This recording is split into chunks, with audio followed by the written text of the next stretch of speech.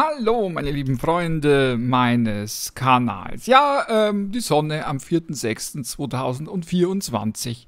Sehr ruhig geht es momentan zu, obwohl wir relativ viele Sonnenflecken haben, die wir beobachten können, aber keiner dieser Sonnenflecken entscheidet sich für irgendetwas.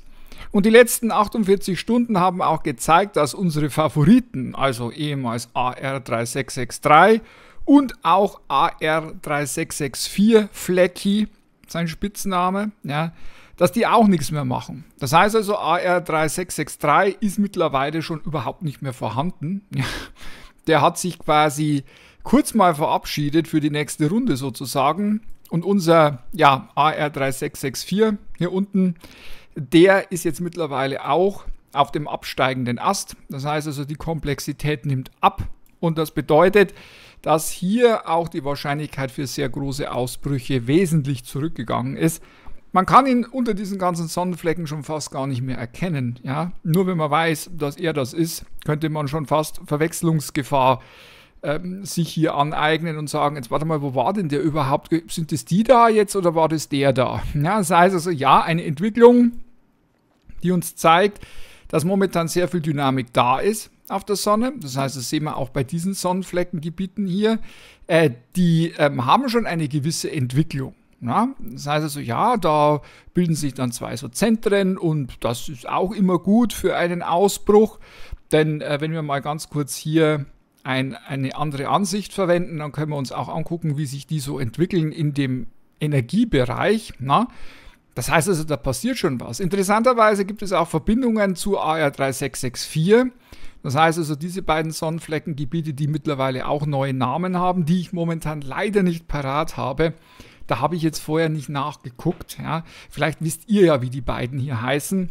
Da könnt ihr gucken und zwar zum Beispiel bei spaceweather.com, dort sind die dann benannt und wie immer, na, die werden nacheinander benannt. Das heißt also, wenn jetzt hier plötzlich einer entsteht wie der hier, der ja vorher gar nicht da war, dann bekommt er trotzdem einen neuen Namen, ja, also eine neue Bezeichnung. AR36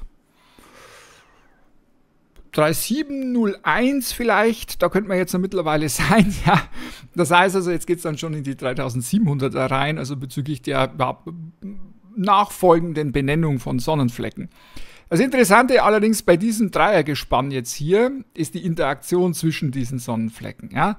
Das heißt also, die sind ähm, zwar getrennt voneinander, kann man sagen, also zumindest räumlich getrennt, aber sie haben trotzdem Magnetfeldverbindungen. Ja, das sieht man hier sehr deutlich ähm, zwischen dem unteren, unserem 3664 und dem oberen hier.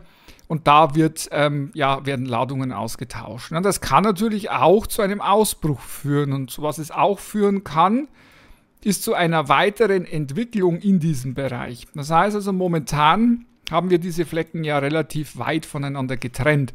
Aber wenn wir uns die grundsätzliche Dynamik mal ein bisschen näher anschauen, dann sehen wir, dass schon eine gewisse Wahrscheinlichkeit herrscht, zumindest, dass die dann noch ein bisschen näher zusammenrücken. Muss man mal schauen. Es kann auch sein, dass sich hier nochmal ein Sonnenfleck bildet und dann wird es interessant, wenn die dann so nah beieinander sind, dann agieren sie mehr oder weniger wie ein großes Sonnenfleckengebiet. Momentan scheint das noch nicht so zu sein, denn die Verbindungen sind zwar da, das heißt also, wir. Lässt du mich jetzt das auswählen? Nein, äh, jetzt, jetzt manchmal mag er nicht, ja. Jetzt. das heißt also, diese Verbindungen, Magnetfeldverbindungen, die hier herrschen, können auch eine Auswirkung auf die Entwicklung dieser Sonnenflecken haben, unter anderem auch Ausbrüche triggern. Ja, muss man mal gucken, wie sich das weiterentwickelt, kann man momentan noch nicht sagen. Aber wie gesagt, eine generelle, zumindest was die Ausbrüche betrifft, eine ruhigere Phase auf der Sonne. Ja, das sehen wir auch, wenn wir ganz kurz das hier nochmal anschalten. Ja, wenn das funktioniert, jetzt. Ab und zu mag er mich nicht, der J Helio Viewer. Ja, Im Übrigen, also dieser J Helio Viewer wieder unten in der Videobeschreibung als Link. Das Ganze ist von der ESA ein absolut tolles Tool, äh, um sich das Ganze hier anzuschauen. Und ähm, ja, wir sehen hier eine grundsätzliche Aktivität in diesen Sonnenflecken, aber es gibt eben momentan keine größeren Ausbrüche. Das heißt, wir haben Ausbrüche, wie zum Beispiel den hier, Sie sieht, hier sieht man das sogar sehr deutlich. Da wird Ladung dann auch äh, transferiert in unseren unteren Sonnenfleck, ja, in AR3664 und dann gibt es auch dort einen Ausbruch. Das heißt also, man kann jetzt auch sehen, dass die miteinander sympathisch agieren, das heißt, also sympathische Verbindung haben, so heißt das tatsächlich. Und das kann schon dazu führen, dass da auch ab und zu mal was getriggert wird ähm, und ähm, Ausbrüche entstehen können. Was wir momentan nicht haben, ist, ähm, dass wir auf der Seite, also auf der Seite hier jetzt ein Sonnenfleckengebiet haben, was sich jetzt momentan so reindreht mit der Sonne. Äh, es gibt zwar Anzeichen, dass dort hinten etwas ist, ja, das heißt also hier in dem Bereich gibt es ein, Anze ein also Anzeichen, dass hier ein Sonnenfleckengebiet existiert. Das muss man sich noch, also das glaube ich ist allerdings eher ein koronales Loch, was wir hier haben, aber hier in dem oberen Bereich äh, sehen wir, gibt es schon einige Magnetfeldlinien, die darauf hindeuten, dass da tatsächlich auch Sonnenfleckengebiete momentan auch äh, eine gewisse Entwicklung durchmachen. Vor allem dieses Gebiet hier dürfte interessant werden, weil sich das gerade entwickelt. Da sehen wir auch, wie hoch diese Magnetfeldlinien, also das Plasma hier rausreicht. Und ja, das könnte jetzt auch nochmal was Interessantes werden, aber generell die Sonne, was Ausbrüche angeht, momentan ein bisschen schwach auf der Brust. Ne? Das heißt also, wir hatten jetzt heute in der Nacht ein G1, soviel ich gesehen habe. Da gab es auch in den USA im äußersten Norden Polarlichter, allerdings nur sehr kurz. Ähm, und äh, momentan definitiv nichts auf dem Weg Richtung Erde, also keine Ausbrüche, die jetzt stattgefunden hätten, die Plasma in unsere Richtung befördert haben und deswegen auch äh, keine Wahrscheinlichkeit für äh, zum Beispiel Polarlichter in den nächsten Tagen definitiv nicht. Und kommt jetzt alles darauf an, ob hier AR3664 tatsächlich nochmal einen Ausbruch produziert. Momentan schaut es allerdings nicht danach aus. Das heißt also, die Entwicklung dieses Sonnenfleckengebietes ist rückläufig, was die Möglichkeiten angeht. Und deswegen hier in dem Bereich wahrscheinlich nichts mehr. Er löst sich einfach momentan auf. Das muss man so sagen, wie es ist.